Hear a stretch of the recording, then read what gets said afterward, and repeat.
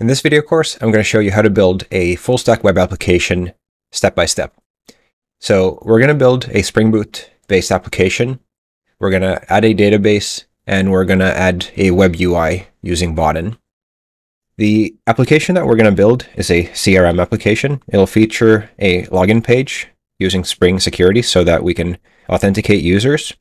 It'll have a list view where we can list contacts in our system and edit and delete them. You can also filter them like this.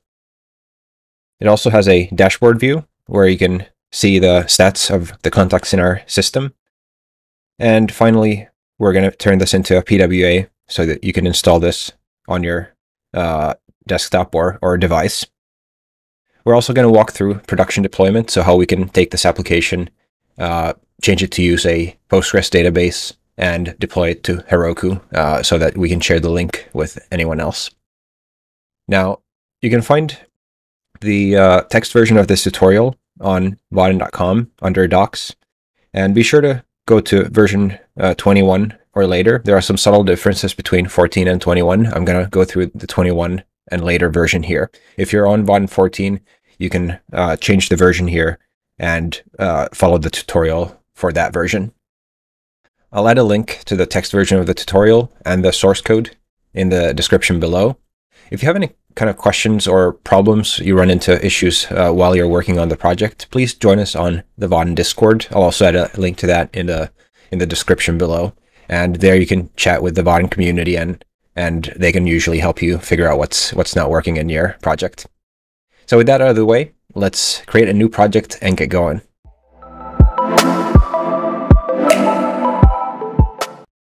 All right, so the first thing we need to do is download a project starter.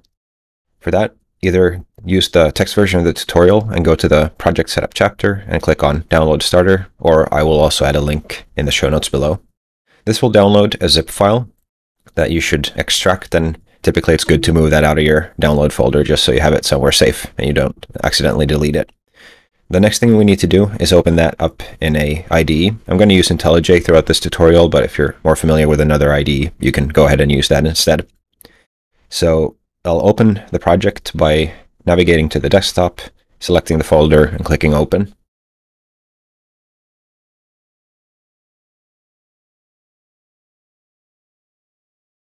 All right, so we'll give this just a minute to load all the dependencies that it needs and then we'll take a look at what we have.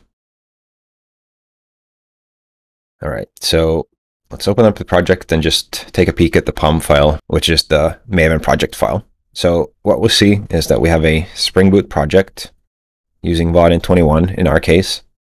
And if we look at the de other dependencies that we have here, you'll see that we have a H2 database, so that give us an in-memory database that we can use throughout the development cycle here we're going to configure a Postgres database uh, when we go to production, but for now we're going to use just the in-memory H2 for easy development.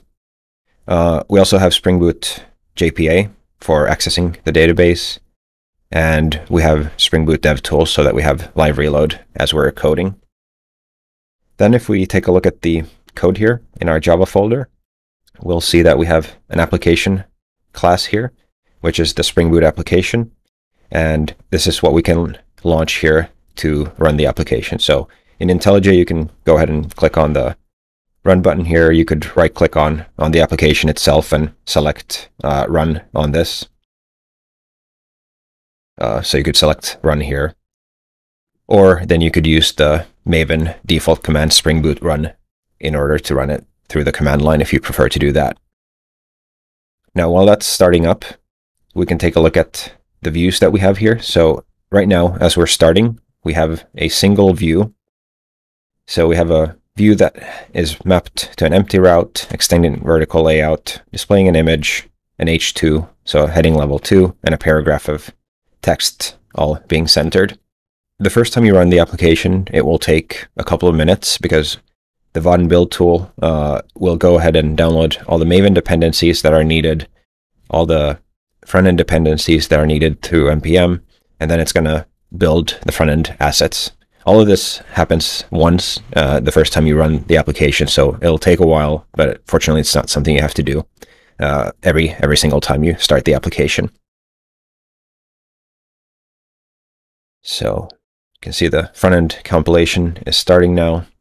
This might take anywhere from a few seconds to a few minutes, depending on your internet connection and your and your uh, and your computer, how fast it is. And while that's going on, we can kind of start sorting out our workspace so we have enough room here to, to work with. All right, so we can see now we have the initial view here, visible, mapping to this uh, list view here that we have. Now, one thing to note when you start the application is that, especially with IntelliJ, it will start performing an indexing, and this will take quite a while on, on some computers especially. So this might take anywhere from from say 10, 15 seconds to even a couple minutes. While this indexing is going on, uh, your kind of experience will be a little bit limited in that it won't autocomplete and, and things like that won't work. So we'll wait for the indexing to finish, and then we'll make a small change to the application and make sure that the live reload works the way it's supposed to. All right, so the indexing is finished, and let's just make sure live reload works. So I'll remove all the code I had here. I'll type add, so I'm going to add something to the layout, create a new h1, and type in the classic hello world greeting here. To get live reload to work, I need to build a project. So depending on your IDE, it might be enough for you to save the file, or in IntelliJ, you need to actually build it. So it's either Command or Control F9, or press the hammer icon here. What'll happen then is Vaadin will uh, notice that something has changed, and it will reload it, and you can see that we have the application uh, changes now visible here. All right, so before we start building anything, let's take a quick look at what Vaadin is and how it works. Close the download window here, and go back to the documentation here under Design System.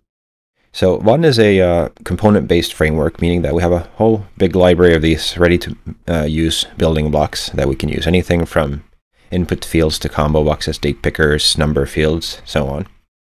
We can use all of these by initializing new components. So for instance, we could do a new button, give it a caption like click me, and we can then add this to the layout. So, well, first of all, we could extract this into a variable. We could call it button. And we can then, when we're inside of a layout, we can call add to actually display a component. And in this case, we can display the button like this.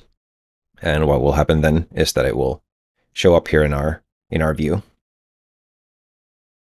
Take a while to reload. And once it reloads, you can see we have a button here.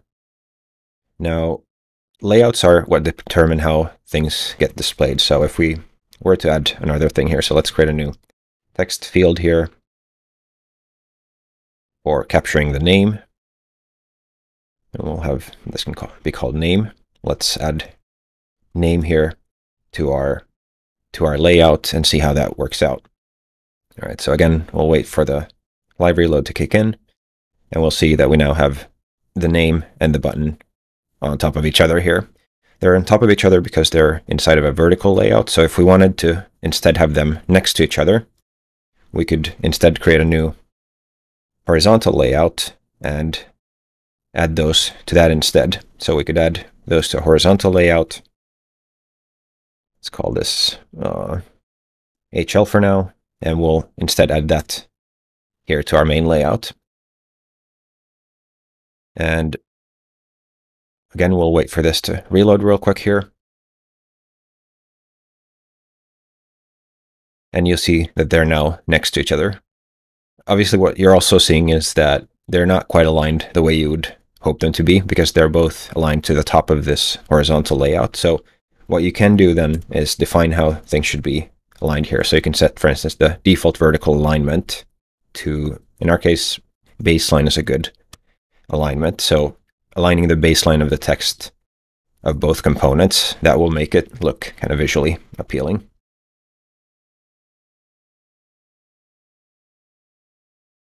All right, so now we have the two components next to each other aligned properly. The final part of kind of how Vaadin works is to add uh, functionality by adding listeners. So on our button, we can add a click listener. So whenever this button gets clicked, we can decide what we want to do. So here we could do, for instance, we could show a notification. So uh, we'll actually need to be careful to pull in the right notification, so not the JavaX management one. So we'll pull in the Vaadin flow component here.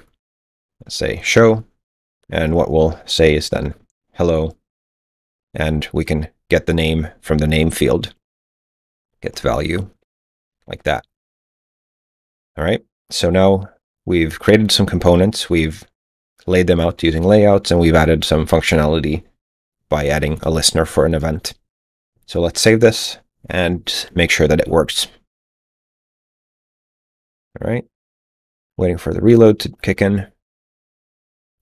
And then I'll type in my name, click the button, and you can see we get a notification saying, hello, Marcus. So those are the basics of working with Vaadin. Everything is a component, so we can create components by instantiating Java classes. We lay out components by putting them into layouts like horizontal layout and vertical layout. And finally, we add interaction by listening for user events and reacting to them. All right, so now that you know some of the basics of building a Vaadin application, let's start building out the first view. So we'll uh, go back to the tutorial and go to the creating a view chapter here. And what we're going to focus on here in the first part of the tutorial is building out just this context list view. So we're going to get to the wrapping view here with the navigation bar and everything in, in a little while, but we'll just focus on building out this view here. So we'll have a text field, we'll have a button, and we'll have a grid containing uh, contacts. And if you're following along, uh, it might be easier for you to just go and copy the code from here instead of uh, trying to code along, but I'll let you do uh, whatever you feel is, is, is better for you. All right, so uh, let's go into our app here, and I'll close the sidebar just so we have more space for the code here. We'll begin by just removing all of the code we have here, and then we'll start working from the top down. So page title is what's going to be the page title in the browser. Uh, for this particular page, it's going to be the contacts list, so we're going to call this contact, uh, contacts, and then we'll have a pipe and just say Vaadin CRM, which will be the application name. The route annotation means that this view is mapped to the route, uh, the empty route, so essentially to the context route. All right, so with that, we're ready to start creating the components that we need. And as you may remember, we'll need a grid and a text field. All right, so the first thing we'll create is that grid. So we'll have a grid uh, that's going to hold contacts. We'll call this grid, and this will be a new grid, and we'll pass in contact.class here as the parameter, so the grid knows what kind of objects we'll be working with. The other thing we need is a text field. So we'll create a new text field. We'll call this filter text so we know what we have in there. And we initialize this to a new text field like that.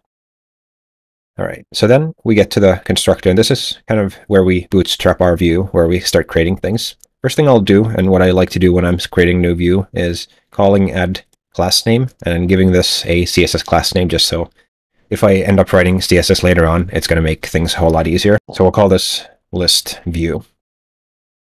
All right. Then we're going to call set size full, which will make this view the same size as the entire browser window, because that way we can have that data grid reach all the way to the bottom. By default, a vertical layout would only be as tall as the components inside of it. So that would leave some unused space at the bottom, which is not what we want to do. Then I'm going to call a new method, configure grid,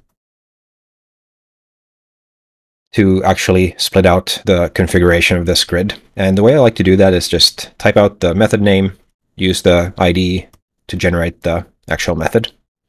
So what are the things we need to configure in this grid? Well, first of all, I also like to add a class name for this grid so I can uh, style it later. So we'll call it contact grid. Then I'm going to call set size full on this grid as well. That way it's going to take up all the space that's available to it. Next, we're going to configure the columns that we want to show. So let's take a look at the contact class here. And if you open up the sidebar here, you'll see that the starter that we started with has a data directory here, which contains our entity classes. So we have a contact, which is what we're looking at here, contains a first name, a last name, a company, a status, and an email. The company contains a name and uh, a list of employees belonging to that company, and the status is simply a name. So in this case, the status of a contact might be something like uh, closed lost or or closed won or, or similar to that. All right. So anyway, in this case, we have uh, the fields first name, last name, company, status, and email. So when we uh, start configuring the grid here, we can tell it which columns we want to be uh, showing. By default, it would be showing all the grids just as they are, but we want to configure them a little bit. So I'll call grid and set uh, columns, and this will take in strings for the column name. So I'll say first name, last name, and email. I'll close that again. Now, those are the primitive columns that we'd had in there, but we had a couple of columns that contained objects. And if we just call set columns like this, uh, those would be just printed as, as whatever uh, that object to string is. And that might may or may not be what you want to do. So what we can do instead of just uh, uh setting the columns like this is define a custom column. So we can call grid and we can call add column. And what I will take in essentially is a lambda that takes in the contact and should return a string then uh, that we want to display for that column. So in this case, we're going to do contact get company dot get name to get the company name. And then we're going to call set header company. So that way we have a have a column showing the company uh, by getting its name. We'll do the same for the uh, for the status.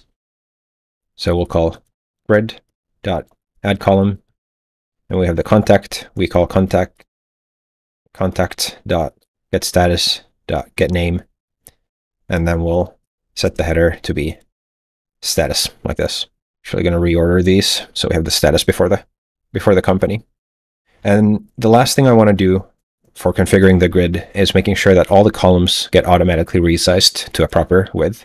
We can do that pretty easily by calling grid and calling get columns to get all the columns. And then for each of those uh, columns, what we can do is call column dot set auto width to true like that. So that way we have configured the grid uh, columns that we want to show, and then making sure that all of them will be properly sized uh, to fit the, the content inside of them. All right, so that takes care of the grid. And if you remember, we're inside of a vertical layout, which means that anything we add to this layout will be placed on top of each other. So uh, what we're going to do is we're going to call add and have two things. One will be the toolbar with the uh, uh filter field, and the second one will be the grid. For the filter field, I'm going to, again, split this into a separate method just to kind of keep the keep the constructor nice and small and kind of easy to understand. So we'll call get toolbar for getting that, and then we'll pass in the grid as the second component. First, we need to, again, generate this method, and this method should return the component that we want to return for the toolbar. So for the toolbar, let's first of all configure this text field that we have. So we'll call filter text dot set placeholder. And the placeholder text we want to be shown there is filter by name. Then uh, we're going to set the clear button visibility to true. So that way, if there's something written in the text field, somebody can just click on the clear button and clear all of that out. We're also going to optimize this a little bit by setting uh, the value change mode to lazy. So what this essentially means is that a little bit later in the tutorial, when we start actually implementing the filtering, we don't want to actually hit the database on every single keystroke. We want to kind of uh, wait for the for the user to stop typing for a little while so that we don't unnecessarily keep fetching everything uh, from the database on every keystroke. All right, so that takes care of sorting out the uh, filtering text field. The other thing we need there is a button for adding new contacts. So we'll create a new button and the text here will be just add contact. And I'll extract this into a variable. And the add variable can just be like add contact. Uh, let's say add contact button like this. And then because we want these two components to be next to each other, we need a horizontal layout to wrap those. So I will create a new horizontal layout, pass in the filter text field and the add contact button. I'll extract this into a uh, toolbar uh, variable, and then I'll take the toolbar, add a class name to this because I need it for CSS later. So we'll call this toolbar. And then finally, we will return this one toolbar. All right, so if we look at what's happening now is that when a user navigates to the context root of the application, this view will get initialized. It's a vertical layout, so everything inside of it will be displayed on top of each other. We make the layout full size, we configure the grid columns, and then finally we add two components to the grid. We get the toolbar component, which is a horizontal layout with the text field and the button, and then the grid is the second component here. Again, let's uh, build this and take a look at what we get in the browser to make sure that we're on the right track. Again, we'll wait for the reload to finish. And what we should see right now is that we have the filter toolbar up here, and we have an empty grid here. The way we'll approach this is that we'll create all the UI components we need for this view first, and then we'll start looking at uh, creating the backend implementation that we need for actually populating and updating and, and saving and all of that. All right, so the next thing we're going to do is create the editor for the individual contact. So in the text version, we're going to go to the next chapter, and you can see that we're working on this part of the application right now. So the form where you can see and edit contact details. Again, if you're uh, following the text version, you can copy the entire code, but I'll walk you through the implementation uh, in the IDE. So what we're going to do is open up the sidebar here and navigate into the list view uh, package here. And we're going to create a new component. We create a new component by creating a new Java class, and I'm going to call this contact form because it's a form for editing contacts. And I'm going to add this to my Git. All right, so contact form will extend not from vertical layout or horizontal layout, but from form layout, which is a layout in Vaadin that's uh, suited for creating forms. It will it will responsively either have one or two columns depending on how wide your viewport is. Creating these own components is something that's very common when you're building Vaadin applications. So you can build compositions of existing components and essentially create your own uh, custom components that you can use in the application. So in the case of our form, what we'll do is we'll create input fields for all the properties of our contact, and then we'll display them in this form layout, and we'll add some buttons for things like saving, deleting, and closing. All right, so I'll just start from the top, create a text field for first name, and this will be a new text field, first name. We'll create another text field for last name, that'll be also a new text field, last name. Then we'll create a email field, field called email, and that will map to a new email field. So you can kind of see these uh, field names map pretty much one-to-one -one to the underlying contact object, and we're going to get to that in a, in a moment. So we'll give this a caption of email. Then what we'll need for the status and the company are essentially like these drop-down selects. For that, I'm going to use a combo box. And the combo box type will be a status for the status select. And here, again, we want to make sure we get the right status, so the one in our application. And this will be a new combo box status. And finally, a combo box for the company. It's equal to a new combo box for company like this. All right. Um, so like I kind of hinted earlier, there's a reason why I named these exactly the way I did.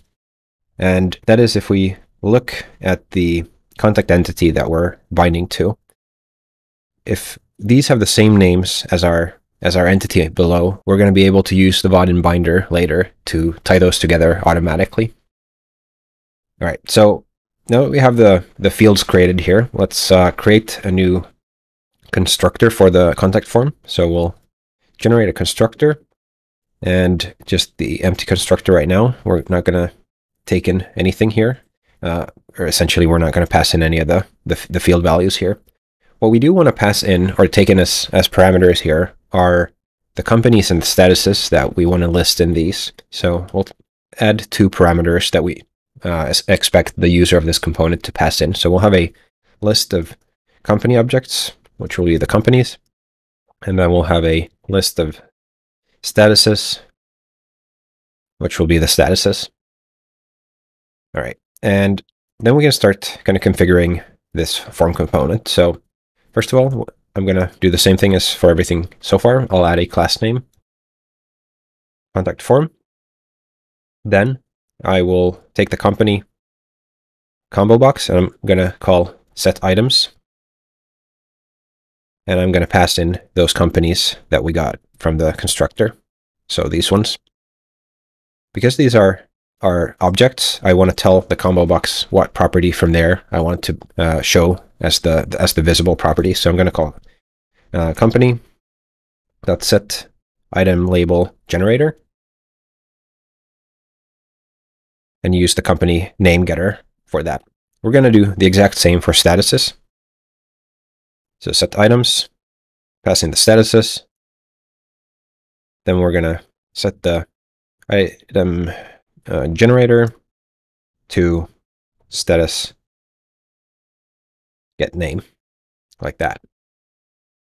All right, and then we're going to add all these components to the layout. So we're going to call add, and we're going to just start with the first name, pass the last name, email.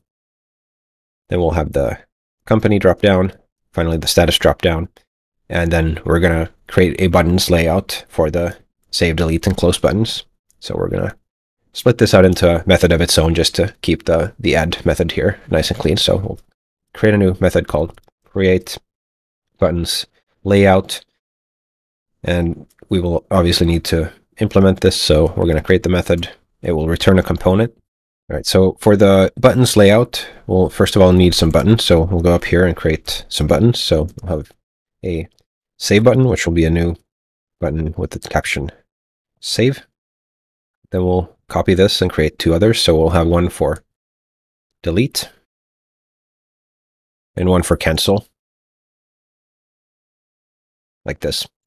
All right. And once we have those, we can go and configure them. So for the save button, what I want to do is call add theme variant. And we're going to use the button variant primary for this, which will make it stand out, uh, be clear that's the primary action that we expect people to do. The delete button will add the theme variant error. So we'll again use the button variant and select the error one. And then finally for the cancel button, we're going to add the theme variant tertiary like that. Okay. Um, then I'm going to add some click shortcuts so people using the keyboard can use these more efficiently. So for the save button, we want to add the click shortcut enter. And for the cancel button, we want to add the shortcut escape like that. Then what we return from this will be a horizontal layout. So we want them to be horizontally next to each other. New horizontal layout, and we'll pass in the save, the delete, and the cancel buttons, like that. All right, so now we have a, a form that contains input fields for all the properties of a contact, and we have buttons for saving, deleting, and canceling. Now, just having this form will, uh, of course, not kind of make it show up in our application. We need to go back to our list view here and add it to the layout. So let's do that next. All right, so back in our list view, let's create a field uh, for the contact form. So we'll create a new field here called form. And then I'm going to add another configuration method here. So I'll call this configure figure form form. Implement this. And in here, I first of all need to initialize the form. So the form will be equal to a new contact form. And as you remember, it takes in two lists. Now, at this point, we haven't connected to the backend yet, so we don't have any actual lists of companies and statuses. So what I'll do just in, for a placeholder right now is use uh, collections.emptylist to just passing to empty, uh, to empty list, collections dot empty list like this. And we'll replace those with the actual lists in just a moment. And then I'm going to give this form a width of 25 EMs, so that it has a width. All right, and what I want to change then, instead, instead of passing in the grid here directly, we're going to create another kind of helper method for configuring this. So we're going to, instead of passing in the grid here, we're going to create a new method called get content. And in this method, what I want to do is create a wrapper layout, a horizontal layout that holds both the grid and the form next to each other. So what I'll do here is I'll first of all create a new horizontal layout and pass in both the grid and the form. And I'm going to call this content. Then I'm going to define how these two will kind of uh, be spaced. So by calling content set flex grow, we can tell how they uh, how the space should be allocated between these. So I want to say that the grid should get two uh, thirds of the space, and then the form should get one third of the space like this. So two and one for the flex uh, grow here. Also for, for this uh, layout, I want to add a class name. So I'm going to call add class name and say content will be be a good class name there. And finally, let's call set size full on this so that the content's the right size. And then start instead of null, we're going to pass in the content here. All right. Um, so again, if we look at what we did, we have a field here for the form. We configure the form by instantiating a new form, passing in two empty collections for now. Then we pass into the view two components, the toolbar, which we had from before, and then a content, which is a horizontal layout containing the grid and the form next to each other. So if we go into the browser, we can see right now that we have the grid, we have the form here on the side, and we have the toolbar on the top. So we right now have all the UI components that we need for this view. The next step for us will be to connect this to our database and display and work with some actual data. So up until now, we've taken a look at the contact entity that we have, but let's take a look at some of the other stuff that we have from our starter. So in addition to the actual JPA entity classes that we have here, we have repository interfaces for each of those. So with the help of these, Spring Boot and Spring Data will give us the basic uh, create, read, update, and delete operations that we need. All right, so in addition to those, we have a data generator that generates us some test data that we can work with. So that way, when we start accessing the database, we already have some, some context there to work with. Now, in order to hook up to the database, there are two different ways we could go about doing it. We could either just use the repositories directly to access the database, but in this case, it's a better practice for us to create a service class that works as a middleman here, uh, running some business logic and kind of ensuring that we're not accessing the database directly from the UI layer. So I'm going to create a new class here called CRM service.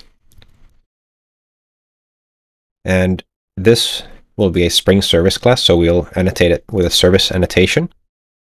And what we'll have here is, first of all, we'll need to have a constructor where we auto-wire in all those repositories that we need. So we'll have the contact repository. Then we'll have the company repository. And finally, we'll have the status repository like this. Then I'm going to use the IDE to bind these to fields, all of them like that. So that way we'll have access to all of these. So this service class will essentially have all the APIs that we'll use to connect to the database in our application. So the first thing I want to implement here as our public API is a method to find context based on a filter text. So let's create a new method here that returns a list of contacts. And I'll call this find all contacts that match a string filter text like this. And here, let's check first of all if filter text is null or if the filter text is empty. Then we will return the contact repository find all. So just return all of the contacts in our in our database. Else, we're gonna do a search. So we're gonna return the value we get from calling again the contact repository dot search and pass in the filter text. Now this is not something that exists yet, so we need to go ahead and add this. And here what I'll do is I'll use a JPQL query. Now I'm slightly lazy, I'm not gonna type up the whole query, so I'll go here to the to the text version and copy this over and then explain what's happening. So what we do here essentially is that we name this uh, search term here as a parameter, and then we use it in a query where we select contacts where the first name or the last name matches that search term, uh, and we turn everything into lowercase so it's case insensitive. All right, so that takes care of the first piece of the API. So we have one way of finding contacts. So if we don't have a filter, we return everything. And if we have a filter text, we use that query to filter them. Next thing will be pretty easy. We'll have a public method again, returning a long called count contacts. And this will return contacts repository.count. All right. Next one will be for deleting contacts. So it can be a void method, delete contact, and this takes in the contact that we want to delete. And what this will do then is, again, delegate to the contact repository to delete this contact, like so. Then we'll do the same for saving contact. So we'll create, again, a method for save contact, taking in a contact and what we'll do here is, first of all, let's just make sure that we actually got a contact in because sometimes if you mess up with the binder, it's easy to pass in a null value here and we'll make our life easier if we, we check for that. So let's uh, print out to the system error log that contact is null. So assuming as we actually have a contact, we can delegate again to the contact repository to save this contact like so. Good. All right, so that takes care of all the contact related ones that we need. Then let's create one for finding companies. So again, a public method that returns a list of company objects called find all companies. And this will return the company repository.findAll. And finally, we'll create a similar function for statuses. So we'll create a method that returns a list of status objects, find all statuses, and delegate this again to the status repository find all method like that. All right, so now we have a service class here that takes in all these repositories in the constructor uh, through AutoWire.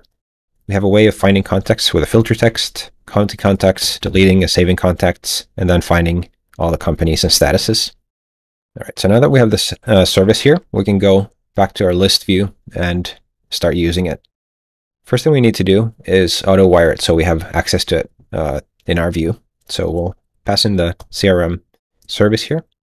We can call this service and we'll create a field for this so we have access to it throughout the entire uh, entire view. Then, as the last thing here, I will call a new method update list, which we'll use to update the list of contacts. So we'll create this method. And what update list will do is it will call grid that set items. And the items will get from calling service find all contacts. And then we need to pass in the filter value, which we can get from the filter text field get value. All right, so whenever we call update list, we'll go to the database and fetch all the contexts that match this filter that we have currently. All right. Then we also need to hook up the filter text field uh, to actually filter as we're typing. So we go here into our toolbar. We'll call filter text. We'll add a value change listener.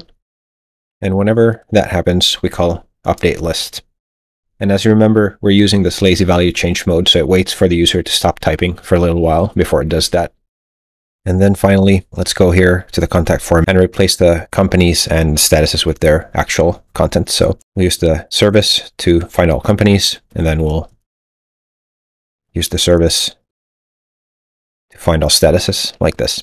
All right, so let's hit build. Let's build the application and see if uh, everything worked out. So we'll go into our app here, and what we can see now is that we have all the uh, contacts here we should be able to filter them. So let's start typing in the first name here. And sure enough, that filters them down. We can clear the filter and that shows all of them. What we should also see is the companies and the statuses that we passed in here. The next thing we want to do is hook up the form so that when we select people in the grid, the right person gets selected in the form and that we can edit them. We're going to do this in two parts. So first, what we'll do is we'll hook up the data binding in the form so that we can both edit and validate the input and trigger events from this form. And then once we have that done, we'll hook up this form uh, to the grid so that whenever we select a contact in the grid, they'll get selected here on the side. All right, so let's begin by setting up the form here. For that, we're going to go back into the contact form class and create a binder. So let's create a new binder here. A binder is something Vaadin uses for binding between a model object and UI components. So in this case, we're going to work with contacts, and we'll call this binder.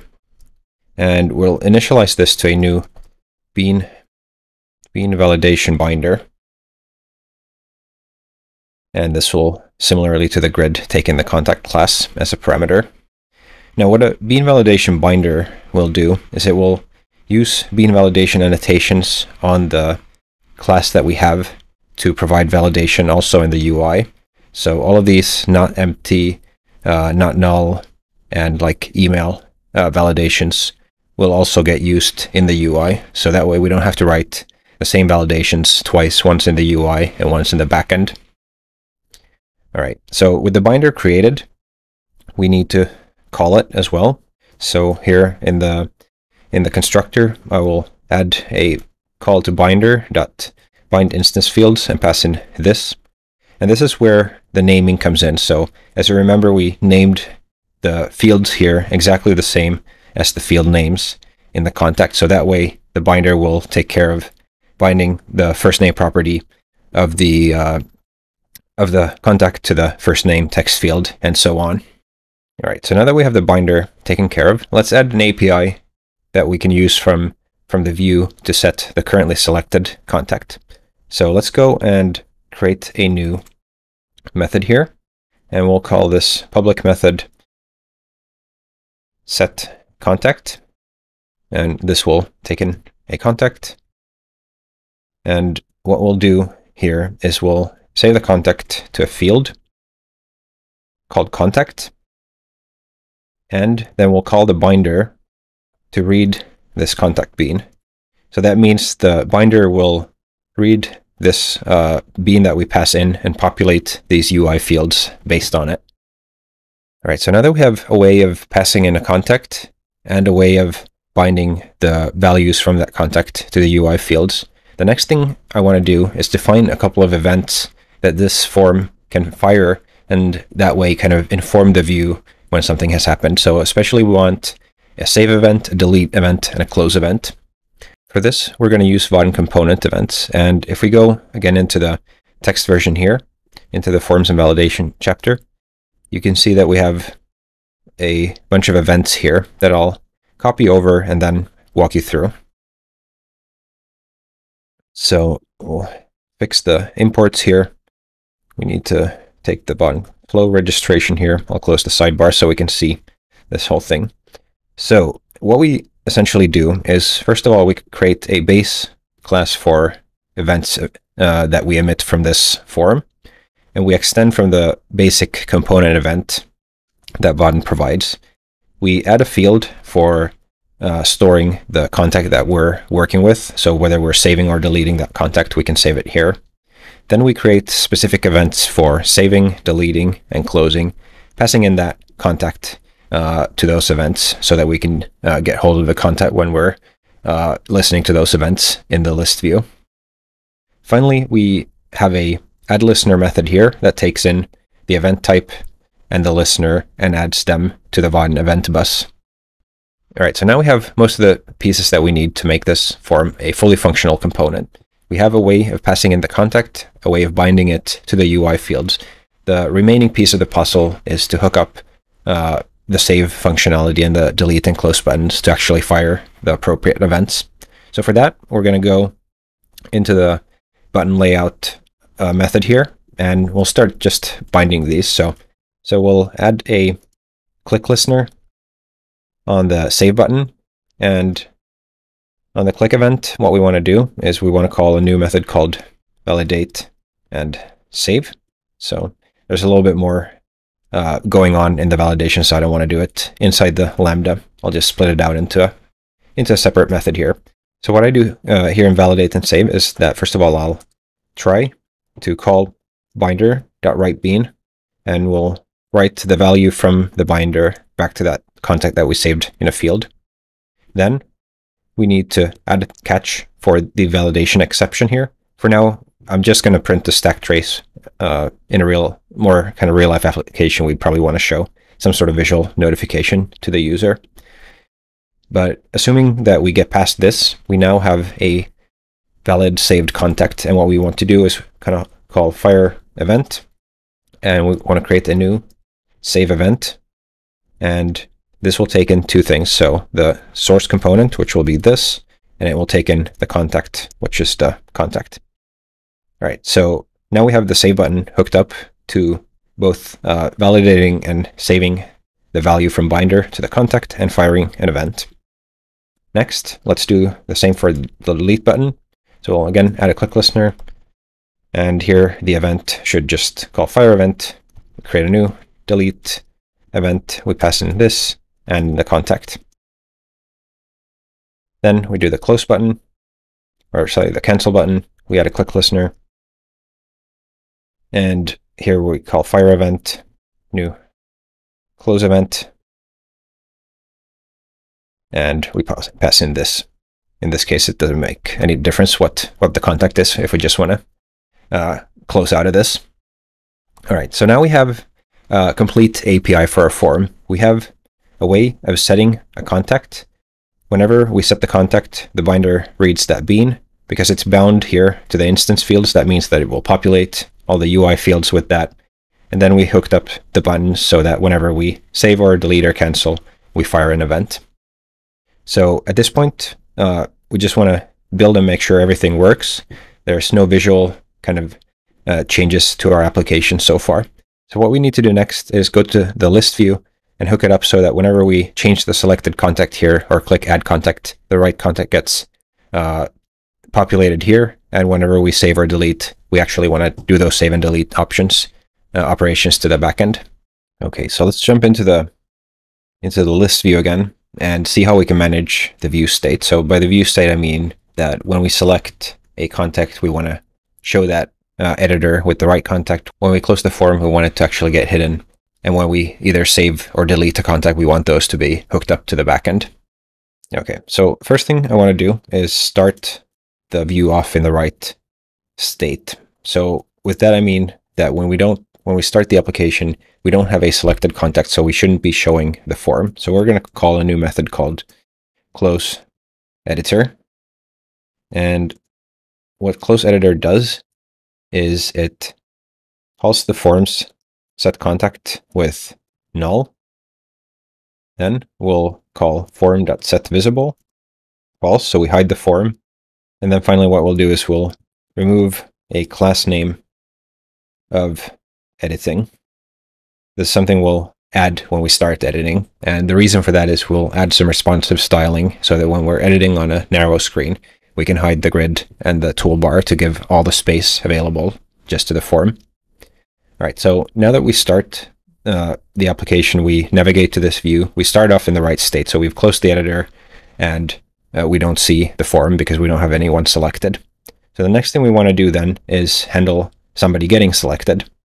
So for that, let's go into the configure grid method here, and then we'll add a listener. So we'll take the grid as a single select. So grid uh, supports both multi and single select modes because we only want to select one component, uh, one contact. We can use the as single select and add a value change listener here. All right, so when this happened, what we want to do is we want to call, again, a new method, edit contact, and then we get the uh, value from, from the event like this. And again, we'll create the method here, and we'll call this contact. Right, so what we need to do here is handle two different cases. One is the, the contact may be null. So if somebody deselects a selected contact, we need to close the editor. So that we already have. Good. And in other cases, we need to do something about this. So essentially, we need to do more or less the opposite of what we did just a while ago. So we call form.set contact. We pass in the contact. And then we set the visibility to true because we want it to be shown. And then we add a class name of editing here so that we can use that for our responsive styling in, in just a moment. All right, so now we have hopefully a way of selecting a person in the grid. Let's uh, build this and see that that works.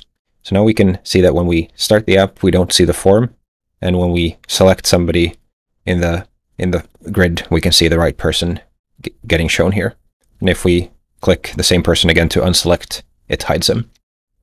All right, so next up, let's hook up the add contact button here. So for that, we'll go into the get toolbar method here. And we have the add contact button already created. So we'll take that, add a click listener. And for that, we want to call add contact.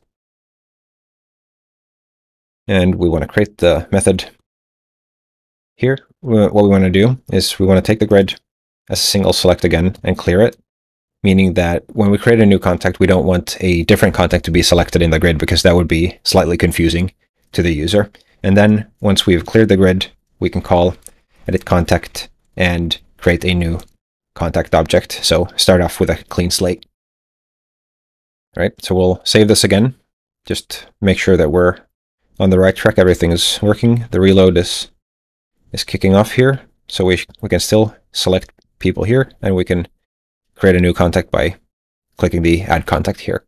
Now I hinted towards making some responsive styles. So right now, if we're on a very narrow screen, you can see that this isn't really an optimal use of space here. We It would be better if we could just have the entire space available here for the form. So for that, we can add some CSS.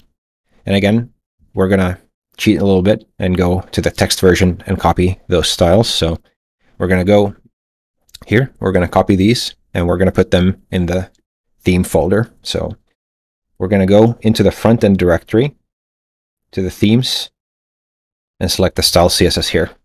Right now, you can see it's only only pulling in some some icons, and we'll add our own style here beneath that. All right, so what the style does is that it adds for narrow viewports on the list view. Whenever the editing class name is present, it will hide both the toolbar and the con uh, contact grid. So we'll uh, go ahead and save this, and then we'll go back to the application and, and see if that got picked up and works. So we'll uh, refresh this and we'll see if this works. So now that you, now you can see that when we go on a narrow screen, we can actually get the entire screen uh, real estate available for the form, which is much nicer. Now, of course, we need to have a way of getting out of this, and that's the next thing we're going to do. So we're going to hook up all these buttons to actually do something. So again, we'll go into the list view. And here we're going to go into the configure form method, and we're going to add listeners on the form for those custom events that we, we created. First event I'm going to hook up is the save event. So we'll take the form, we'll add a listener for the save event class, and then we're going to hook it up to a new method on this called save contact. Then we'll uh, create a new method for this. It can be a private method, void, void save contact.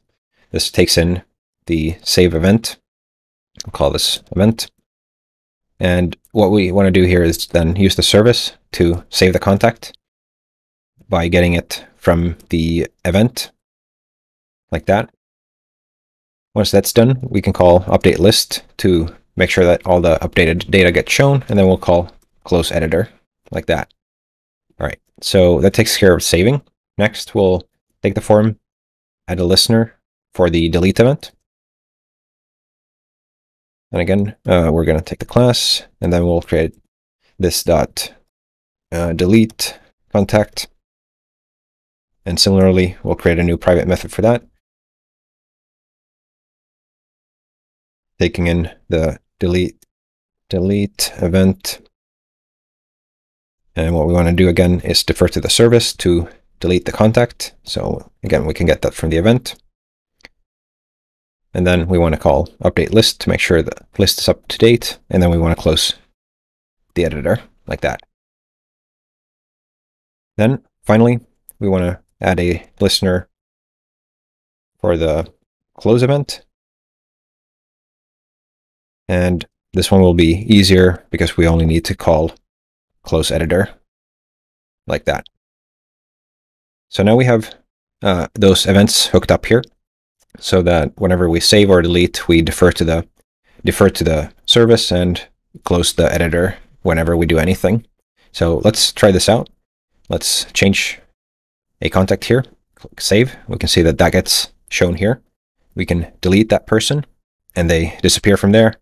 And finally, we can try out the close here. So if we click on cancel when we're editing, especially on a narrow screen, we can see that that hides the form as expected. So up until now, we've been only been working on the list view. The next thing that we're going to look at is adding a app layout that has this responsive drawer with navigation links and a header. And that will allow us to then add a second view for a dashboard that shows stats over the context that we have. So in order to add this main layout, we're going to go into our Java code again to the views package, and I'm going to create a new Java class here called main layout. And main layout will extend from app layout, which is a Vaadin class uh, that implements that drawer layout. In here, I'm going to implement a constructor and essentially split out two helper methods, one for creating the header and one for creating a drawer. So I'll call create header and create drawer like that. And go ahead and create these methods like that, and we'll start implementing them. So for the header, we're creating a new H1, so just header level 1 that says Vaadin CRM. And we can extract this into a into a variable called logo. And for logo, I will add a couple of class names. The ones I will add is text L and margin medium. The class names here are part of the new utility classes in the Vaadin Lumo uh, design system. So you can find all of these described here under the design system documentation if you if you want to use some of the other ones in your application later on. All right, so we have the logo. We've adjusted the text size and, and the margin. And then what we'll do is create a new horizontal layout to hold on to everything that's going to go into that header. So we'll create a new horizontal layout and we'll pass in a new drawer toggle, which is something the app layout uses for toggling the drawer, and then the logo. And this will be the actual header itself. Then for the header, we want to get set the default vertical component alignment to center to make sure everything's nicely aligned. We want to call expand on the logo, meaning that the logo should take up all the extra space in this layout. Uh, we'll need that a little bit later on when we add added the logout button. Then we'll set the header uh, width to full, like that. And then I'm going to add it, some utility class names to this one as well. So I'm going to call add class names. Put the padding in the y-axis to zero, and the padding in the x-axis to medium. With the header configured, I'm going to call add to navbar and pass in the header. So this is perhaps a little unintuitive that the slot that we're using for the header is actually called the navbar according to the to the uh, app layout, whereas the drawer is what we will use as our navbar. So the drawer then is where we have the links to the different views. here we'll create a new router link, which is something that we can uh, use to, to navigate to a view. So we'll give it a caption, list, and this will navigate to list view dot class. All right, so that'll be the list view. And for the list view, we'll set the highlight condition to highlight conditions, highlight conditions dot same location. The reason I'm setting this is that for the default path, the empty path, essentially that would match any path because every path starts with an empty path. So this is something we, we need to have here just so it doesn't stay highlighted uh, because it thinks every every other view essentially in our application would be a sub, sub view of this. All right, so once we have that, we're going to add to drawer and we're going to create a new vertical layout. So we want the links to be vertically aligned on top of each other and we'll pass in the list view link here. Now that we have the highlight conditions here on, on the links, the other thing we need to do is define how we want to style those. So go into the text version again, copy some CSS here, and we're going to go into the front end folder once again, into the theme folder, to the style CSS, and add this style. So anytime a link has the highlight attribute, we're going to bold and underline it. All right, so with the main view now created, we need to go into the list view and tell it to use this main layout. So here where we have the route, we need to add a layout uh, parameter and set this to be main layout.class. This way, whenever this view gets loaded, it will get loaded inside of main layout. So let's build this and go into the application and see that what we have looks somewhat to be on the right track.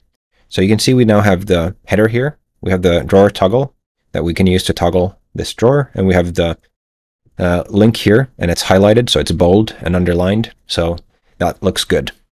Now that we have the main layout in place and we have a place to actually have, have links to different views, we're ready to add another view to our application. So for that, I'm going to go into the views package, here my Java source, and create a new Java class. I'm going to call this dashboard view. And dashboard view will extend from vertical layout the same as list view. We're going to give this a route annotation where the value is equal to dashboard and the layout is equal to the same main layout.class. We're also going to give this a page title. This will be dashboard. We'll have the same Vaadin CRM. All right, so the dashboard view, if we kind of look at what we're aiming to do, will look something like this. So we'll have the amount of context we have in our in our system, and then a pie chart showing how those different contexts are split into different companies. So here in our class, let's create a new constructor first of all. And here we will auto wire in the CRM service. We'll call it the service and save it into a field called service like this. And then I'm going to give this a class name the same way as we've done for everything so far. So add class name, dashboard view. Then I'm going to set the default component alignment to center. So we want everything to be centered horizontally in this vertical uh, layout. And then we're going to call add and create two helpers again. So one for get contact stats and one for get companies companies chart like that. Right, so we'll go ahead and create these methods like that. And let me just rearrange these so they're in the same order. So we'll start with the easier one. So get context set. So here we need to just show essentially a text with the how many contexts we have in the system. So for that, we can use a span, just a plain HTML span. And here, the number of contexts we can get from the service by getting count contexts and calling plus contexts to concatenate a string. So this will be our stats, essentially. For stats, we'll add some class names again to configure how it looks. So we can use text extra large, and then I'll set the margin top to be medium, so it doesn't quite touch uh, the top there. And then we'll return the stats here. All right, then for the companies chart, we need to do a little bit more. So for the chart itself, we're going to use Vaadin Charts, which is part of the Pro library. So if you're doing this tutorial and you want to try it out, there's a free 14-day day trial. Or if you're a student, it's part of the free student package, so you can get it from there as well. So we're going to create a new chart. And this will be of chart type pie. And this chart will then need to get its data somewhere. So for that, we need a new data series. And we're just going to pull this out into a variable.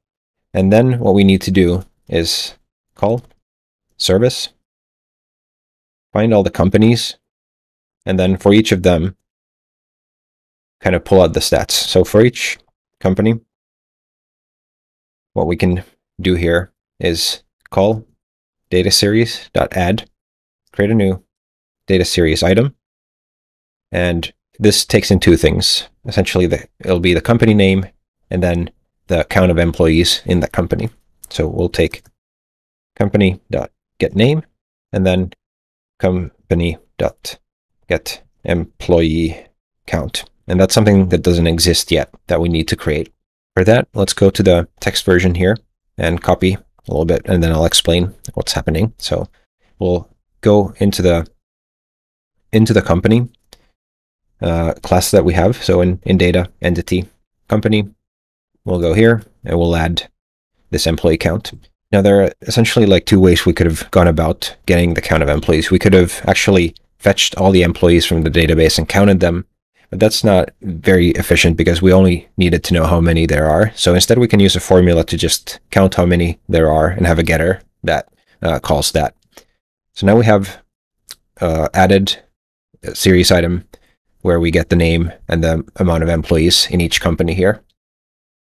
And the final thing that we need to do then is we need to take the chart, we need to get the configuration, and we need to set the series to this data series that we have like this. And then finally, of course, we need to return this chart. So again, if we look at the big picture here, what happens is that we have a vertical layout that centers everything on the horizontal axis. We add two components, a span containing stats, so just the total number of contacts in our system, and then the other one being a chart, which is a pie chart that pulls from the service all the companies and then uses the formula to get the employee count in each. So let's save and build this. And right now, if we go to our application, we should be able to go to dashboard and see it here. So the dashboard view itself now works. Obviously, we want to add it here to the main layout. So let's finalize this dashboard view implementation by going into the main layout and then adding it here. So for that, we're just going to inline it here. We're going to do a new router link to dashboard, and that will navigate to dashboardview.class. Save and build. Go to the application see that we now have the dashboard view here. It's highlighted because we're on the dashboard view. We can go to the list view. Let's go here, delete one contact, go here, verify that the number of contacts here has actually been updated, which it has. So that looks good. We now have two views in our application and we can navigate uh, between them. Up until now, everyone could access everything in our application, and that's not what we want to do. So next, let's secure the application with Spring Security and add a login screen. So we're, we're going to begin by creating the login screen. So here in the views package, we're going to create a new Java class, and we're going to call this login view. And login view will extend from vertical layout the same way as other uh, views that we'd had so far. So vertical layout, and we're going to implement the before enter listener. So that way we can hook on to the before enter event. And we'll get back to that in, in just a second. Okay, so First of all, let's add a couple of annotations here. So first one being the route annotation. We're going to map this to the login route, and then we're going to give it a page title that will be login, and then a pipe and Vaadin CRM. All right, then what we're going to do is we're going to override the constructor. And in the constructor, we're going to start constructing the view. For the actual login, we're going to use a login view component. So I'm going to instantiate it up here. I have a private login form. We can call this the login, and that will be equal to a new login form. Then in the constructor, we're going to add a class name, login view. We will set the size to full, and then we'll align components both in the horizontal and vertical uh, direction. So we'll set the set the line items to center, and then we'll also set justify content mode to center, center so that everything's centered. Then we're going to configure the login action, so where this login form should post to, and that will be the login path. And then finally, we'll add the components to the layout with add. We'll create a new H1 with saying Vaadin CRM, so people know what they're logging into, and then the login form. All right, and in the before enter listener here, what we want to do is check if the URL has a error query parameter, and if so, we're going to show that error. So if the before enter event dot get location dot get query parameters dot get parameters contains a key called error, we know that we have an error that we should show. So we'll take the login form and set the error to true, like that. Okay, so save and build. And what should happen right now is that we should have the login view available, but it's not enabled yet. So there's nothing that forces us to go there, but we can navigate there manually. Because we didn't use the parent layout, you can see that we don't have the wrapping app layout here. We just have the login form, and that's exactly what we want. Okay, so the next step will be to actually enable Spring Security. For that, we need to first install a dependency. So we will go into the POM file, and we need to install the Spring Boot Starter Security dependency. So just going to copy this over and change validation to security, like that. Then it's important to actually uh, fetch the Maven dependencies. So go ahead and do that before continuing. And once that is done, we need to turn off the server and restart it because otherwise those won't get picked up. So while that's happening, we can start configuring Spring Security. For that, we're going to go into our application package here, and we're going to create a new package. We're going to create a new package called Security. And here, we're going to create a class called Security Config. where we can configure how Spring Security should work. Because right now you can see it's not using our login view, it's using Spring Security's default login view, which doesn't look as nice. All right, so how do we use this security config? First of all, we need to tell Spring to enable web security, and then we're going to tell that this is the configuration that we want to use. Then we're going to extend from Vaadin uh, web security configure adapter quite a mouthful, but that's the kind of naming convention that's used here. Let's uh, hide the sidebar so we have a little bit more space to work with here. And we need to override a couple of methods here. So, so we're going to override configure for HTTP security. And we need to make sure that we call super.configure to let the Vaadin web security configure adapter do its thing. And then we are going to set the login view to login view.class. So that way we're going to use our, our own login view. And we actually need to pass in the HTTP configuration object there as well. All right, so that configures one thing. The other thing we want to do is we want to exclude an image directory from Spring Security altogether. We can do that by overriding configure. And here, again, we need to make sure that we call the super configure, but let's first ignore a path. So we will take the web configuration object call ignoring, pass in antMatchers for slash images star star. So anything under the image directory should be ignored by Spring Security and just served as it is. And then finally, let's configure a user for our system. We can do that by defining the user details service. So user details service. And here we're actually configuring a bean, so let's add a bean annotation here as well. And we're not going to use super here, but we are instead going to use an in-memory details manager. Now, this is not something that you would ever want to use in a production application, but for this demo, it's uh, very good. In the Vaadin documentation, you can find examples of how to hook up to an LDAP or another authentication provider for any actual uh, application usage. So for this though, we're going to just create an in-memory user details manager. We're going to create a new user with the builder. So we're going to say with username user. Then we're going to give it the password. Since this is just a in-memory demo, we're not even going to bother with encrypting the password. So we're going to say no op user pass as the password. Then we're going to give it some roles of user, in this case, only single role. And then finally, call build. So what we have right now is a con uh, security configuration using the Vaadin Web Security Configure adapter, setting the login view to our custom login view, uh, ignoring the image folder uh, from web security, and using a single user in memory with the username user and password user pass. All right. So let's save and build and go to the application and see what happens. Now that we're on this Spring Security based login page, it's not going to have a live reload. So I'm going to navigate to the app myself. And what you can see happens immediately is I'm getting redirected to the login page here, which is what we would expect because we've now secured the application. So let's try to log in user, user pass, login. And we got logged in, but we can't access any uh, views. So the last thing we need to do here is actually uh, grant permission to views that we want the user to be able to access. So open the sidebar here and let's go into the views here.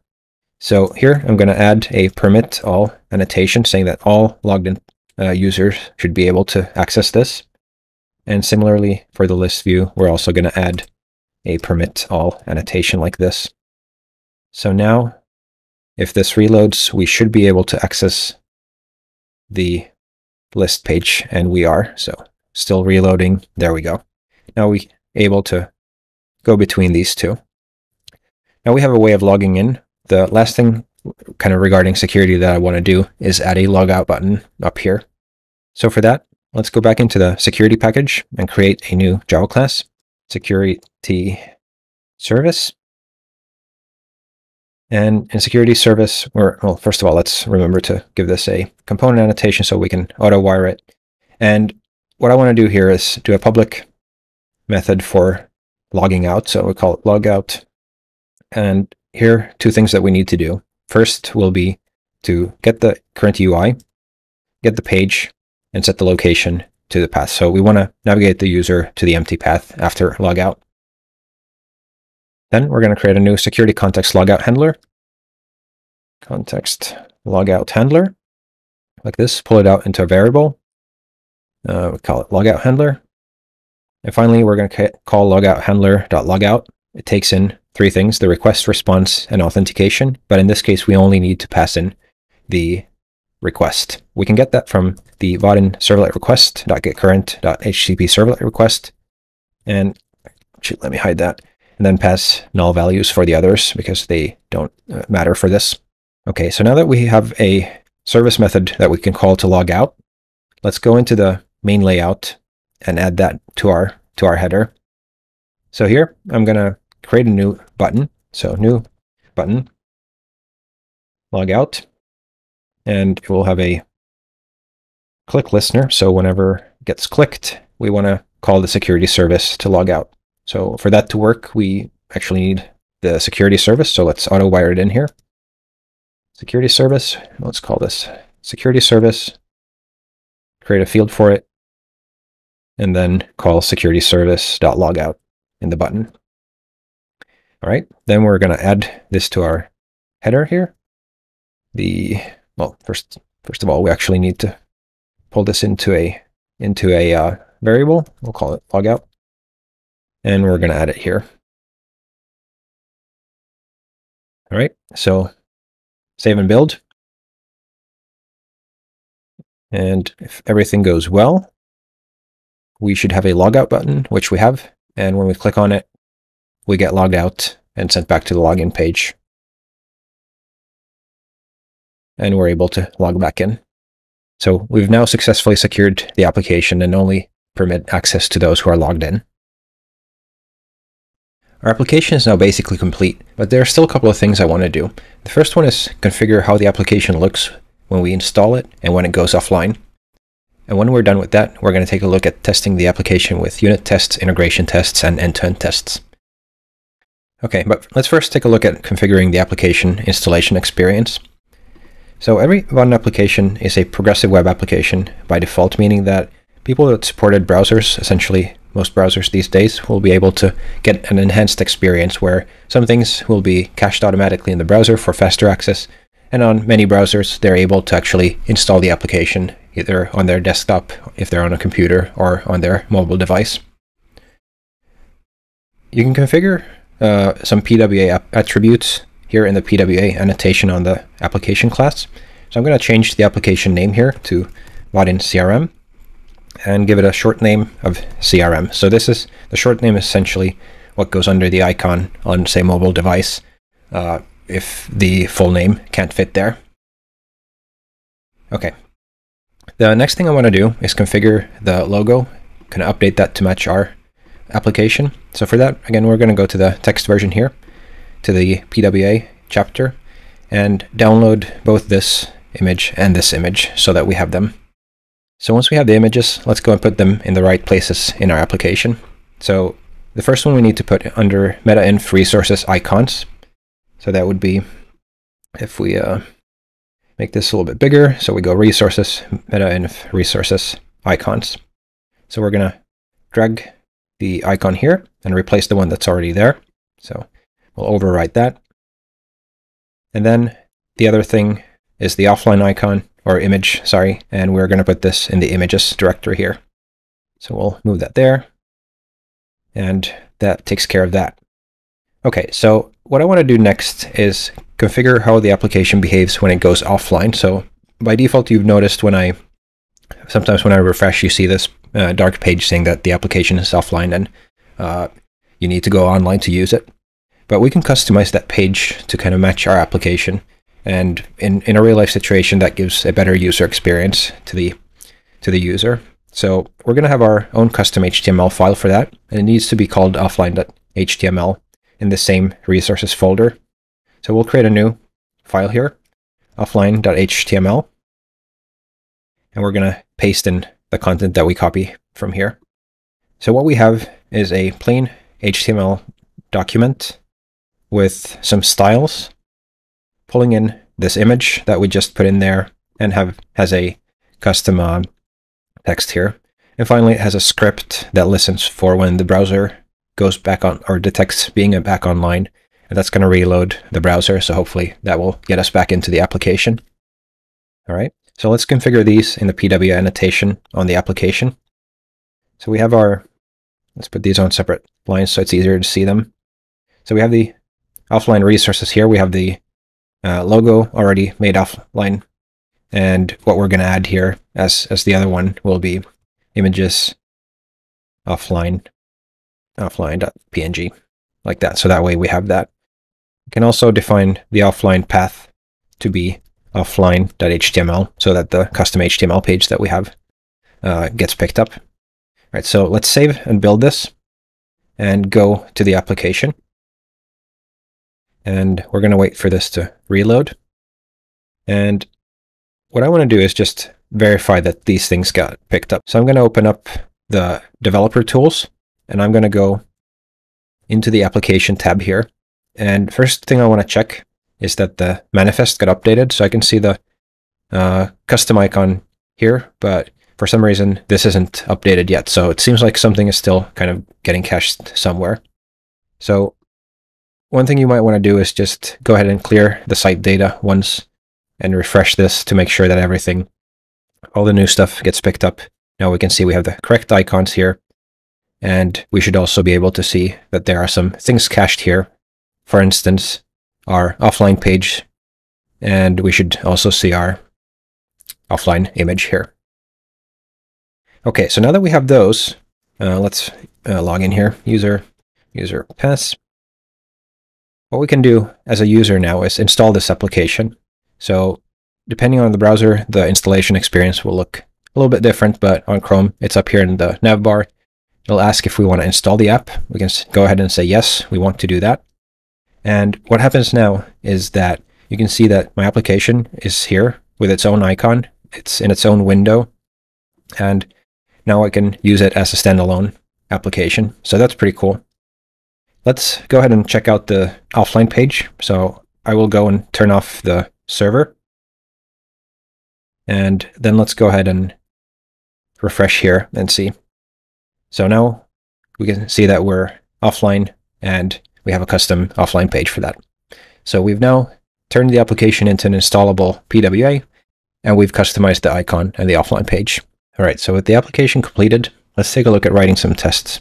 I'm going to close the standalone application here and just open it up in the browser once again. So I'll just go to localhost 8080. We're still offline, so we can also go ahead and start the application.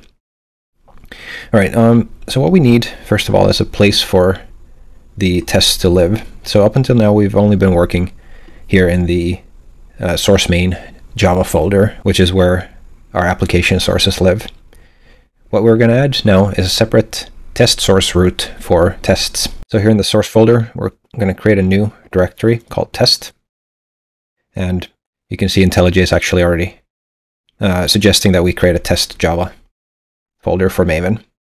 So this will essentially be a parallel and identical uh, structure to the one we have with the uh, with the actual application source. And here it's actually really important that we use the same exact package structure because we're going to rely on package access to some variables for testing. So let's go ahead and create a package for the list view. So I'm going to go here to package and create a com example application views list package. So that will be exactly the same path to the test as it is to the list view here. And in here, we're going to create a unit test that tests the contact form. Now there's a little bit of setup here, so I'm going to go again into the into the text version here and copy the boilerplate, and then we can go through it together. As you're copying these, you can go ahead and just paste them straight on top of of the package and IntelliJ or your IDE usually will take care of creating the class.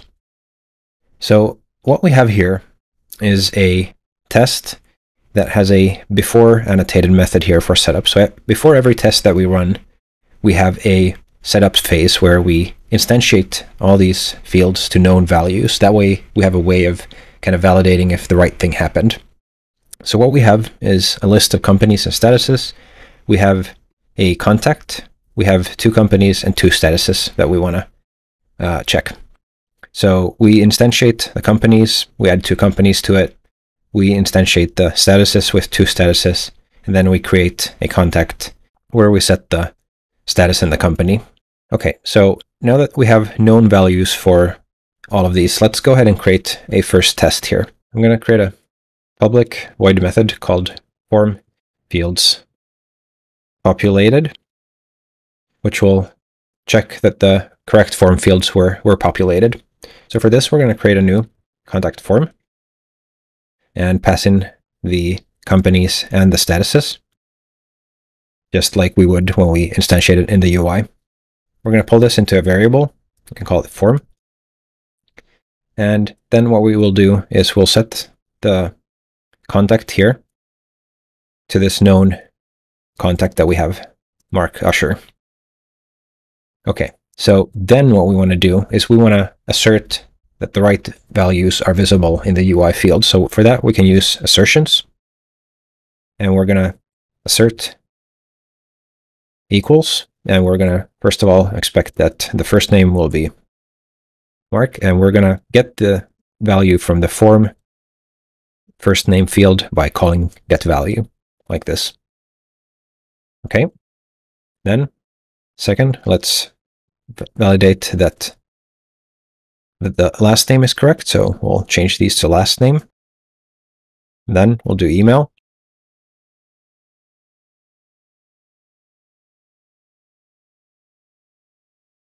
All right. And next we'll do the company.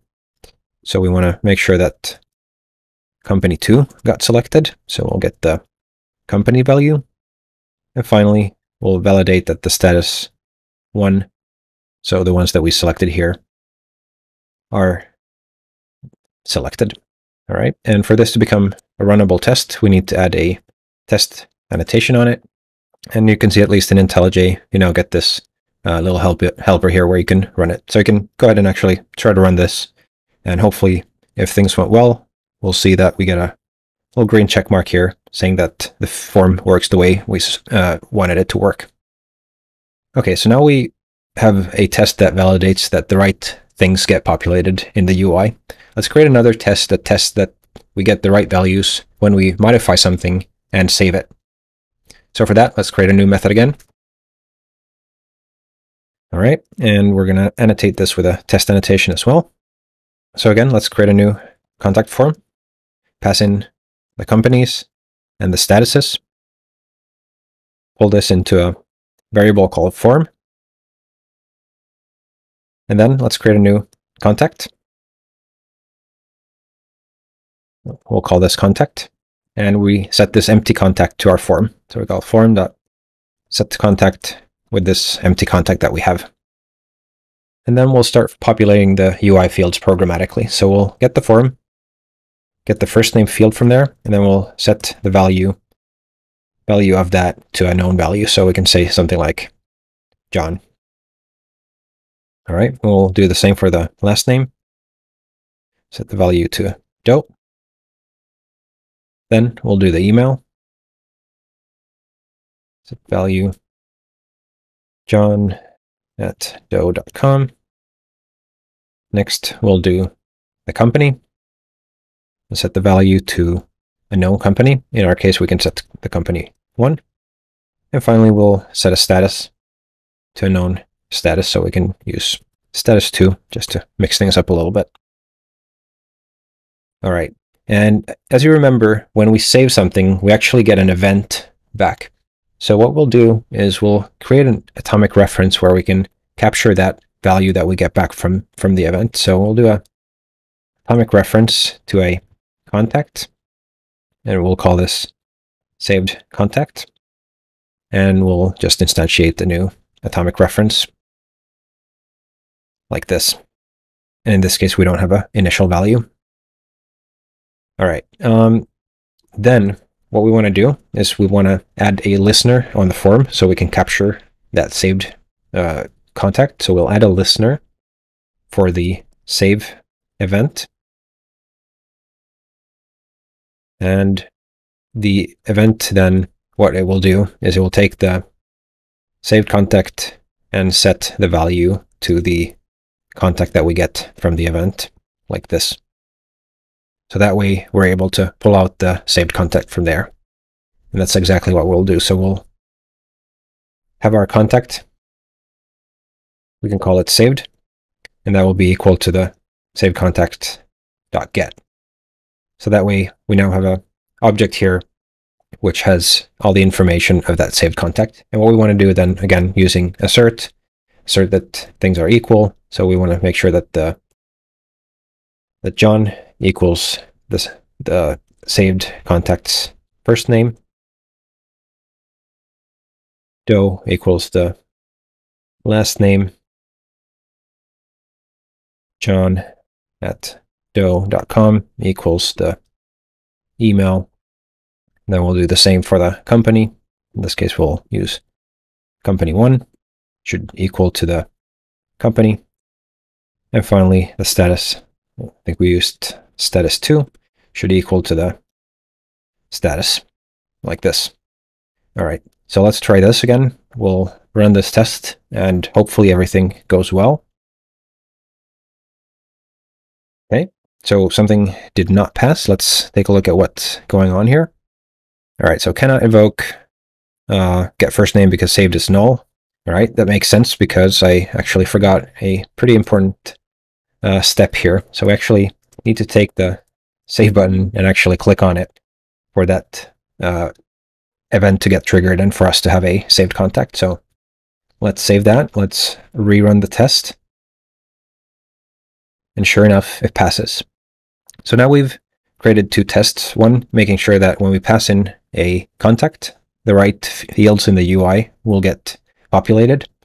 The other one will start with an empty contact, uh, programmatically fill in the fields, click on the save button, and make sure that we get back what we expect. Now that we have a couple of unit tests that test the form by itself, let's create an integration test that tests the list view and making sure that the interaction between these two components that it comprises of uh, actually works. So create a new Java class here, and we're going to call this list view test.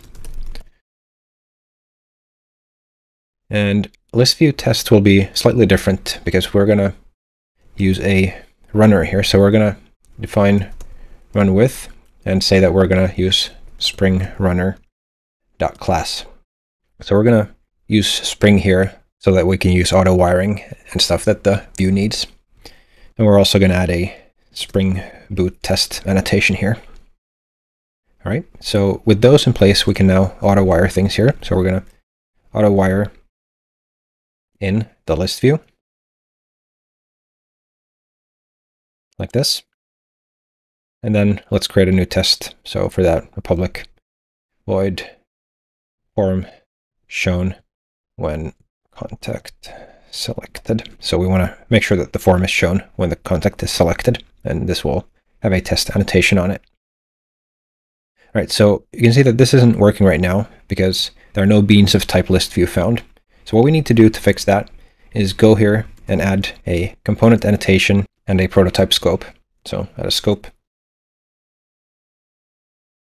prototype like that so that we always get a new version. The reason we didn't need to have these uh, earlier is that when we're navigating through Vaadin, Vaadin will make uh, take care of actually uh, making sure that everything gets auto-wired. But since we're not using Vaadin right now, we need to make sure that Spring can find these on its own.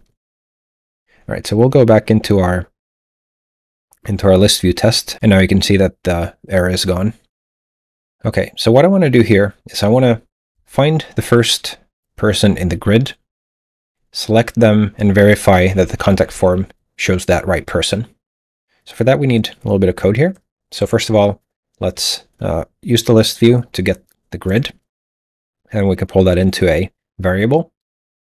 And then we want to find the first contact. So let's do a method, a little helper for that. So we can call get first item on grid, and that's going to return the first item. So we'll go ahead and create this method. This will return a contact and take in the grid.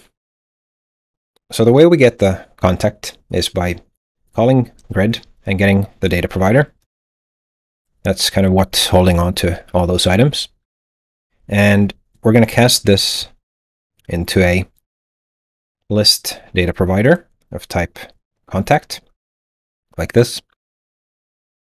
And then we can call get items on this, get the iterator, and get the next contact from there.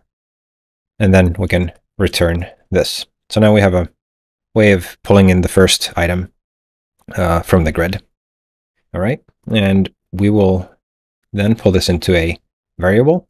And we're going to call this the first contact. All right, so now we know who is the first contact here. Then let's get the form.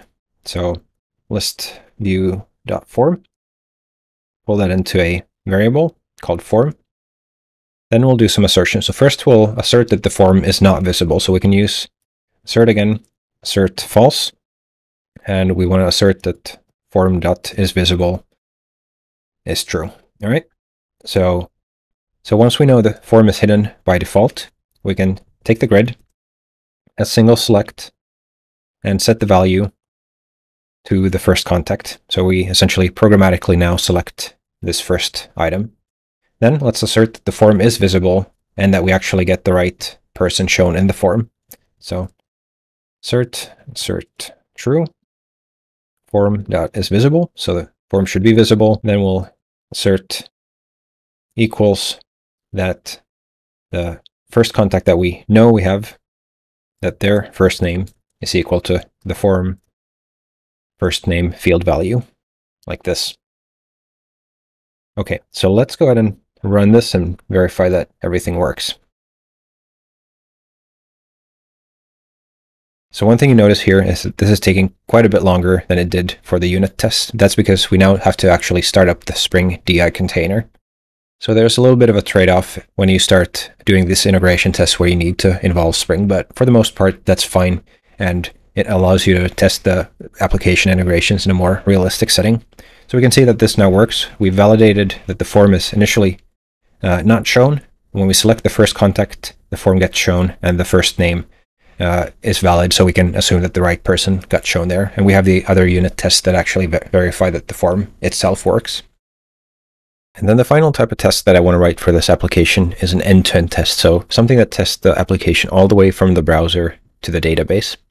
We can do that using the Vaadin test bench tool, which again is part of the Vaadin uh, Pro Tools. So if you already started a trial with the charts, the same trial will work for this as well.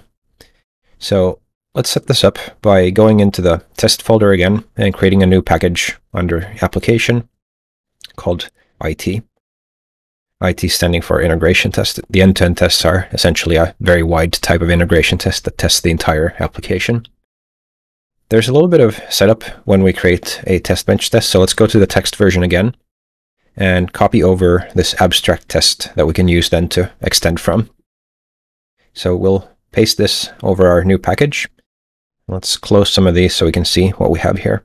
So the abstract test defines some constants here for the address and port and it takes in a route uh, through its constructor. Then it turns off some logging in the Apache HTTP client so we don't get too much spam in the uh, console. And then it does some setup. So before the class starts, it starts a Chrome driver. And if something fails, it grabs a screenshot.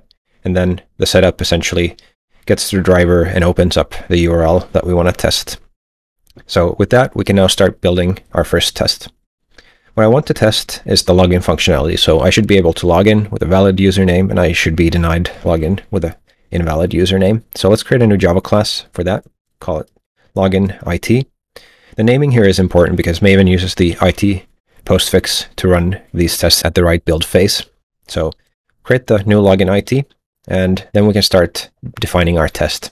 So first thing we need to do is extend from abstract test that we just created and it will require us to uh, create a constructor.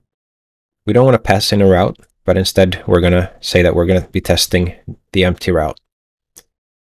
So that takes care of the setup thanks to the abstract test. Now, the next thing we want to do is create an actual test. So we're going to create a public void login as valid user succeeds. So this should validate that a login with a correct username and password succeeds. Annotate this with a test so it becomes runnable. And the way this works is that we can use these element selectors to grab hold of references to UI components in the browser. So in this case, I, I'm interested in getting the login form element. And I want to get the first one that's visible on the page. In our case, it's the only one. Let's pull this into a variable form. Then let's set the values on the form. So we'll call form.get username field set value user. Then let's get the password field, set the value to user pass. And then finally, we'll get the submit button and click on it. And then what we want to assert is that we're no longer on the login page. So what we can do here is can assert uh, assert false that a new er, element selector for the login form element dot class exists. So we want to make sure that it does not exist. Okay, so let's save this. And when we run these through the IDE, we want to make sure that the application is already up and running. That way we can run these tests quicker because it doesn't need to start the application every time. When you're running them through Maven in the integration test phase, it will start the server for you, but that takes some extra time that we don't want to do while we're developing actively. When we run these, it's important that we run the entire class to make sure that those, all those uh, before class uh, annotated setup things get run. So we'll run the entire login IT test here, and then let's see what happens. All right, so something failed here. Um, all right. gonna take a wild guess that it's that this was made a protected method. Let's try to make it a public constructor just so it can get run properly. Let's run that again. And yes, okay, so now it opens up Chrome, logs in, and sure enough, we get a green check mark here saying that everything went well. All right, so now we have one test that validates that you can log in successfully with the correct username. To make sure somebody can't log in with an invalid password, we could just copy paste this whole thing, but something that you usually want to do is create these elements for your own views so that you can easily test different variations without having to copy paste too much code. So I'm going to create a subpackage here called elements. And inside of it, I'm going to create a login view element class. What we're going to do here is define some attributes. And we're going to say that the name here will be a class. And it will contain login view. So in our login view, as you remember, we added a CSS class login view, and this will help us find it, find the right one. Then we're going to add an API here for a method for logging in. So public uh, boolean. So we return whether or not that worked, and login is the method name. We'll take in two strings, user name and string password. Then what we can do is essentially do what we did here earlier. So let's copy this over, move it here, and instead of using these uh, these hard-coded values, we'll pass in the username, pass in the password,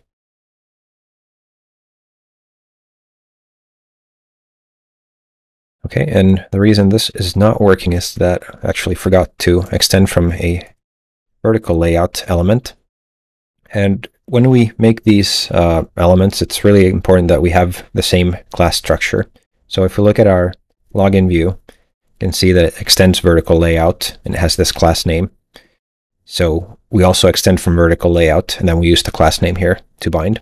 All right, so now we pass in the username, we pass in the password, we click and then finally, we're going to change the assertion. So we're not going to do, do an assertion here. Instead, we'll return the negation of a check of this login view element being visible. So we'll do a login view element class on page that exists. All right, so now we do the same and we validate that we no longer have the login view uh, on the page. We can go back to the test that we had here and we can simplify this. So what we can do is we can do uh, element selector for the login view element and get the first one of those, pull that into a into a uh, variable, so login view, and then we can assert that uh, the login succeeds. So we can assert the login view that login with user and user pass works. Okay, so let's validate that, first of all, continues to work. So everything should work the exact same way as it did just a moment ago. Chrome starts up, it logs in, and the test passes. So now we have a easier way to test that the opposite does not hold true. So login as, as invalid user fails. So we'll do the same, but we type something else here, and we assert that this would be false, of course. So now, if we run this, we should see two green check marks validating that this works. All right. And sure enough, we have two green check marks. So this is just a very quick introduction to Vaadin Test Bench. So you create an abstract test that you can use in as the base for just setting up all your tests. And then you can create these elements for your views to kind of encapsulate some of the common things that you want to do to avoid having to repeat yourself too much. And then finally, you can just do normal JUnit assertions on, on things that you expect to happen when you run the code. Now that we've created our application and tested it, the last thing that remains to be done is to publish it somewhere where we can share the link to others. Before publishing the application, we need to create a production build of the application We also don't want to use the in-memory H2 database when we're running in production. Instead, we want to use a Postgres database. So let's do a couple of changes to the code so that we can uh, get ready for deployment. First thing I want to do is go into the Maven POM file here and go into the production profile. So this is something that Vaadin uh, Maven plugin comes with that we can use to build a production uh, ready application. So it minifies some of the front end assets. It turns off unnecessary debugging and in general makes the application suitable for production. So um, I'm going to do here is I'm going to add some dependencies specifically for uh, for Postgres so that when we're running in when we're running in production, we want to use Postgres. So we're going to use Postgres SQL from org Postgres SQL like that. Then we need to go into our Spring application properties and define some uh, things here. So I'm going to say Spring JPA uh, dot generate DDL is to true. And I'm also going to say in this case Spring JPA hibernate DDL auto to create drop. So this will create and then destroy the schema at the end of the session. Now I want to warn you that don't do this with an actual application. In a real life situation, you don't want to create and drop the database every time you deploy. But for our demo purposes, that's perfect. In a real life application, you really want to use something like Liquibase or Flyway to handle your database migrations so that you don't lose data. So keep that in mind. All right, so we now have everything that we need. The next thing that we want to do is create a production optimized jar. So I'm going to open up a terminal, navigate to the desktop, to the Flow CRM tutorial, and then I'm going to run the Maven wrapper that comes with the project. And I'm going to run the clean and package, package targets, and use the production profile that we just configured. And this will do a production build, and the result of that will be a jar file that we can go and deploy. Now, while that's uh, doing its thing, let's look at the deployment here in uh, in the text version. So we're going to deploy to Heroku. You can deploy Vaadin apps on any cloud provider or pretty much any anything that runs a servlet, but Heroku is a really easy place to get uh, started, and it's free without requiring a credit card. So it's a it's a nice place for us to uh, deploy to. What you need to do is create a Heroku account, and you need to follow the instructions for installing the CLI. All right, so we now have uh, the package built here, and we can go ahead and start deploying it to Heroku. So the first step that you want to do is log in to Heroku with Heroku login. I've already done that, so I don't need to do that once again. The next step will be to run Heroku plugins install Java. So plugins install Java. So enable Java for this app. All right. Then we're going to create our application. And we need to give it a name that's unique. So let's call this Vaadin CRM tutorial.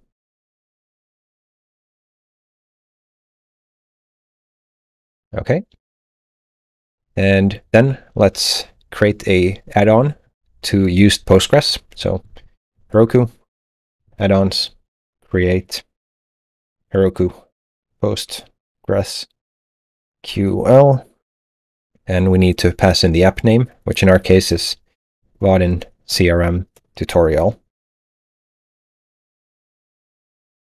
All right.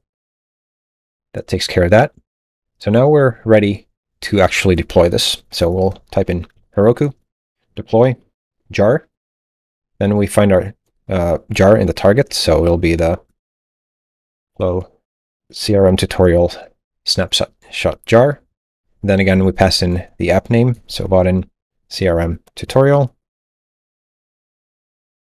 And then we wait for this to, to complete. It'll take a while when it sends over the application.